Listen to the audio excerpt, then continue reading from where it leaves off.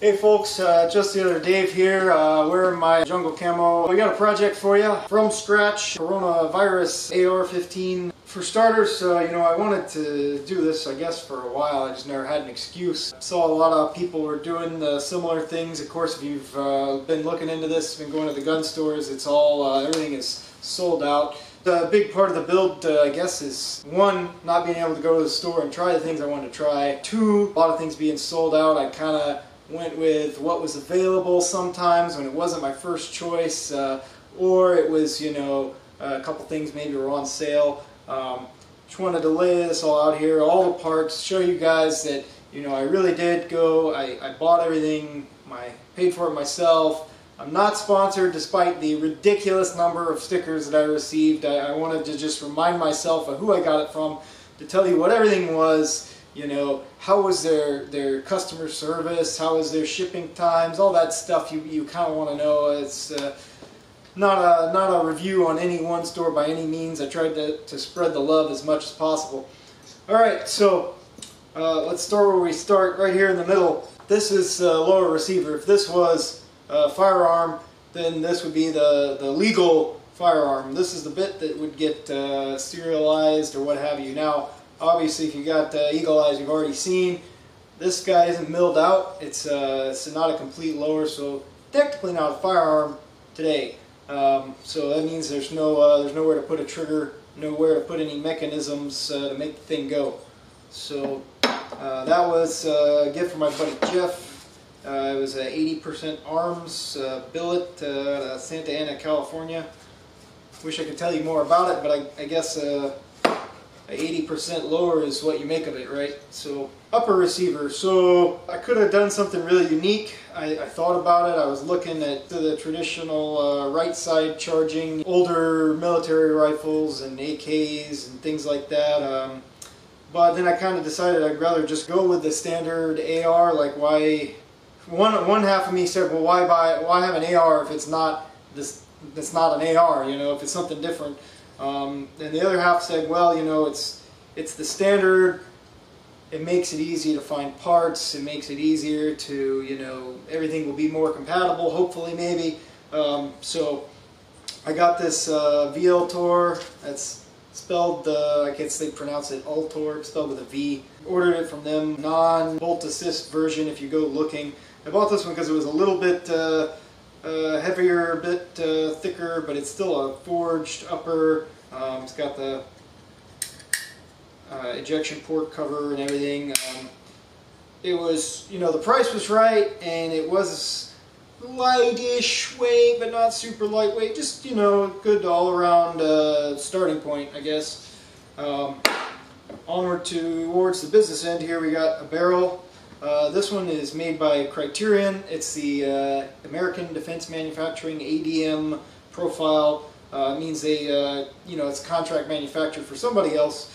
The reason I got it is I was looking at the pencil profiles for uh, lighter weight, less mass, so you're swinging around. all the shooting sports people seem to go for that sort of thing. And American Defense Manufacturing had a nitride finished version so it doesn't have quite the, as rough a texture. Um, it's not chrome lined. I believe, in fact, it's black nitride on the inside. Uh, this is the locking lugs for the uh, the bolt. That's this guy here. It's got the matching set that goes in there and turns, twists to, to lock in place. The gas uh, port area is three quarters of an inch. It's a traditional, I think, AR size. That was also kind of a plus for this one because meant I may have more options in terms of gas blocks. Of course, you're talking about an AR, so there's so many options. I think that's also kind of uh, personal preference. And uh, this one's also a 1 in 8 twist 223 Wylde uh, caliber, which means that it's a more different 5.56. It's a little uh, more, I guess, sportier for, for accuracy. It's the 223 uh, chamber. Don't quote me on that. 223 chamber, but for 5.56 pressure. The geometry is a little different. If you want to go read the drawings, uh, be my guest. I did it and still don't remember what the difference was. So to go with that, you need, of course, a gas block. I got uh, Superlative Arms, good uh, good quality, fits under fits under my handguard, which was an important factor as I had this handguard in mind already, and it's adjustable. Gotta get a tool here to adjust it, but what's the gas block do? Well, this goes over the barrel, line up with this hole on it. It lets the gas go through this tube, so gas tube goes to the gas block. That sends the gas to the front of the bolt. This little piece here would be on the other end when it's all assembled and that drives the bolt backwards to eject your brass and load the next one as the handguard. I got a Coda Evolution. Same idea as the pencil barrel uh, save the weight out here so that it's lighter you know the, that moment of inertia is uh, more uh, more effort required when the weight is out further to support it to turn it all that so um, and towards the end here, we got a uh, Surefire War Comp. I looked, did a lot of research on all, all this stuff, but this uh, War Comp is uh, it's a compensator, so it lets gas out these ports to kind of reduce recoil, and also a flash hider. So these prongs uh, allow hot burning gases mixed with the air, and some of that burns behind the prongs, so it kind of shades that flash somewhat. Of course, it's still got slots in it, so can't be 100%. But, uh, you know, there, there was a lot of different options. Some were better compensators, some were better flash hiders. Uh, this one is also a suppressor mount if I ever decide to go that route. Um, but when the price was all meh, pretty much the same for some of the options I was looking at, uh, this one was just kind of a jack of all trades. Uh, so that seemed like a safe bet, you know, like I can always decide that I like something else better in the future. So I wanted to get a good all-arounder because this is my first time doing this, uh, so I should have led with that, by the way. I've never built an AR before. If I can do it, well, anybody can do it. So also on the front end here for my uh, handguard, which has no built-in rail, I had to buy some Picatinny rails. I got these from Arisaka uh, because they were lower profile, and I was calculating, and I don't know if I got my math right because the things don't line up quite the way I thought the uh, nothing is really centered where you would think it would be centered, but these uh, should come a little closer uh, to being aligned with the rail on top of the receiver. I don't think it'll be perfect, uh, but I'm not trying to mount anything across the handguard and receiver at the same time. This is so I can mount uh, sights on my handguard, and I, uh, I got two sizes. I got a short one and a longer one just in case they use um, so, so I don't know how long my sights are going to be. Well, I, I, do now. When I bought them, I didn't know which sights I was going to go with. They use the M-LOK system, so these uh, T-slot nut type deal slide down in the grooves for the handguard, and then when you start to tighten screws on the top side, these rotate 90 degrees. They should stop there and uh, tighten up, but we'll we'll see how that goes when we get to the part of of the next video. I'll start assembling the upper. Um, so along with those parts, uh, of course, you got to have all the, the triggers and mechanisms that go inside your lower. I got these uh, from WMD. Uh, they're nickel nickel boron, so if you can see that kind of matte gray finish, uh, it's supposed to be easier to clean, a little bit less friction. Uh, uh, more importantly, it didn't break the bank. So this does include a trigger. It doesn't have a fancy trigger kit. I figured if I didn't start down at the bottom, you know, I wouldn't appreciate it if I had a nice trigger. So, uh, and uh, to go with that, I got a, a castle nut that'll go on the other end, also WMD nickel boron to match, you know, the low, low budget bling. So, um, uh, also got a uh, BCM uh, Gunfighter Mod 2 grip. It's, I mean, I never held it in my hand before I received it, right? So it, it seems uh, pretty good size, but the, the reason I picked this one is because it's modular. So uh, the mod, there's a mod 0, mod 1, mod 2, and mod 3, and what's interchangeable on them is a little different.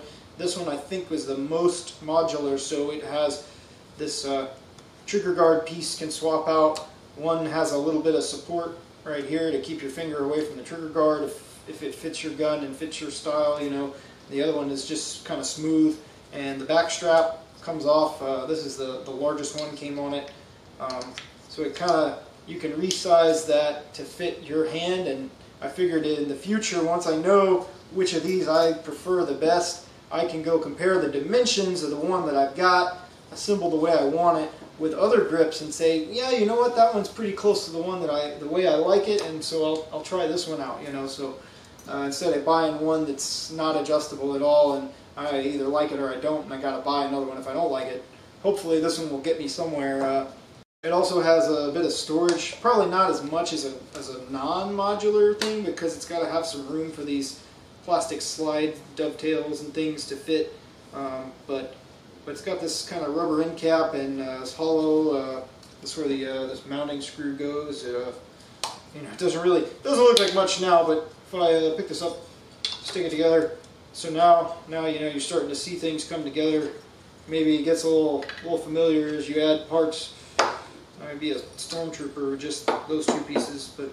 Um, but yeah, so that was the BCM Gunfighter Mod 2 if you want the super adjustable one, then you can go compare the others to get kind of a, they're basically fixed versions of one or the other one of these arrangements.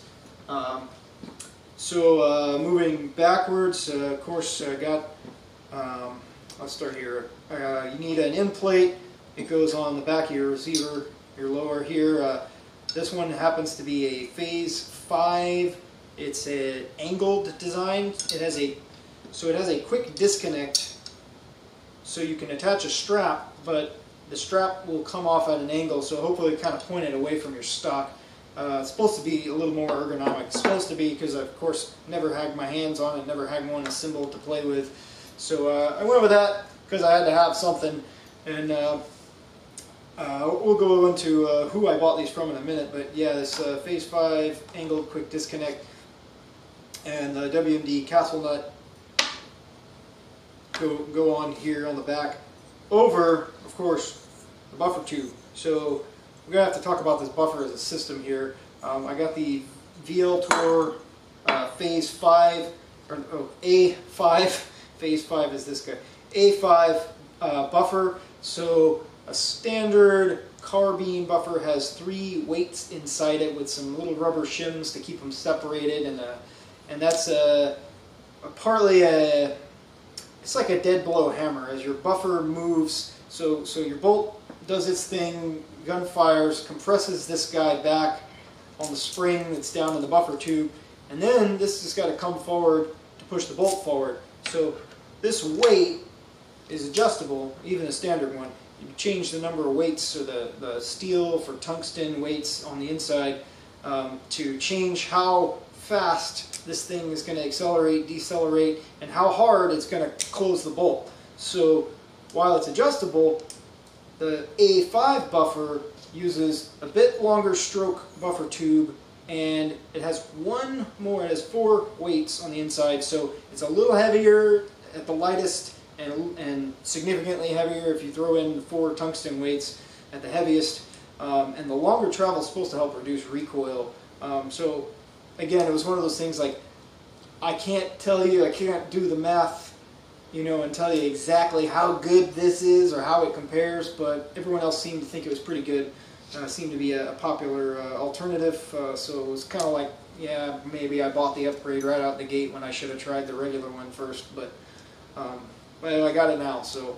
Um, so along with that, uh, this one, of course, is the from VLTOR. They came up with the A5 system. However, they were sold out of their uh, kits. So I got uh, from Sons of Liberty Gunworks a Sprinco Green rifle linked spring. Uh, the, the A5 system uses a rifle spring instead of a carbine spring. However, the buffer tube is smaller than a rifle, so it's got more preload on the spring when it's in the in the buffer tube. Uh, I think they just call it the green one because they stick some green paint on the end to ID them. But uh, this buffer tube is actually not VLTOR. This is a BCM a Bravo company. Um, that's because VLTOR sold out of the tubes. Uh, you know, so like I said, what was available at the time is a little different. I'm sure the length is the same, but the uh, the spacing of the uh, indents for adjusting your stock are different. Uh, on that note, um, you you don't see a stock on the table. Uh, so I ordered my stock from Midway probably two weeks ago, um, and they took probably a week before they even bothered to ship it. Um, and then, uh, and then at that point, uh, I, I don't know if there's a shipping delay or this just just normal for the coronavirus or the you know the mail guys have to have their fun playing hacky sack or whatever. Um, so yeah, the uh, the stock hasn't showed up yet, and I mostly want to blame on blame that on Midway. You know, I'm sure they'll say, well, it's tough times, but everybody else was pretty good. Everybody else was significantly faster at getting things out the door. Uh, primary arms, wicked fast. Uh, Spice Tack, I got the, the Radian Raptor charging handle. You probably never heard of them. I, again, you know, trying to spread the love, did some searching, heard, heard good things, and, and also they had one in, uh, you know, the thing I wanted in stock, right? That was important. So, uh, so yeah, I got that from them, and they were lightning fast. Uh, so, uh, and also, I think, you know, correct me if somebody else has sent me the Smarties. You know, everything kind of got mixed together on the table, but I'm pretty sure Spice Tack sent me some candy, which I definitely needed. Don't I look like the type? So, uh, so of course everybody sent me a whole bunch of stickers, primary arms. I got a couple of those because they were fasting. When I forgot some of these things, I went and sent them another order. Uh, I bought these uh, GI mags and you know the aluminum ones and a Lancer mag from BCM also, and of course their uh, gunfighter grip. Um, that just about covers it. I guess the only thing I could go into detail. Okay, yeah, yeah, yeah. We'll try it. Uh, Radian Raptor charging handle. Um, so this guy is. Uh, oh, again, it was you know.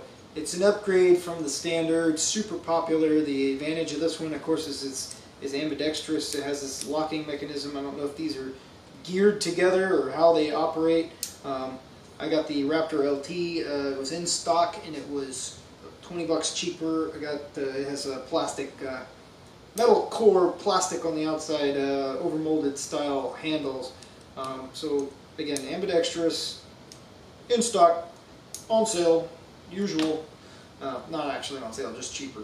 Uh, of course, I did I did blow my load on the uh, the Brownells bolt over here. So yeah, it's Brownells, right. So the, the price was right. These guys were on sale, and uh, this happened to be their titanium bolt carrier. So you can't tell this is a black uh, diamond-like carbon finish, but um, but this piece is titanium. Now, um, this is probably steel. I'd have to look it up. The bolt for sure is steel. It almost has to be. The titanium, whatever people say, is simply not as strong. Uh, it's stronger for a certain weight of material, but when you have a fixed volume you can't uh, you can't control the weight. So um, so you're you're lighter, you're not as strong. Now, of course, it's the same geometry as the standard uh, M16 profile bolt carrier, so that hopefully makes up for a little bit. You know, it's not totally disposable. And I think anyway, the bolt is usually the part that goes, which is still steel, whatever ordnance grade they decided on. I think it's mil. So. Um, so yeah, that uh, Brownells titanium bolt carrier group, uh, because it was on sale. Um, yeah, so I think that, that pretty much covers it. Uh, don't have the stock and I don't have the sights here to show you. Um, uh, we'll follow up with another video on assembling the upper. I think will be next. Uh, once I do the upper, I got to of course work on the, the lower. Then the, then we'll follow the video on the lower parts kit. Uh, and we'll talk about the sights when we get to assembling that. We'll talk about the stock when we get to this end. So we'll uh, we'll see what happens. So uh, you know, subscribe, send me hate mail, you know, leave a comment below, whatever you got to do, um, and I'll talk to you guys in a minute.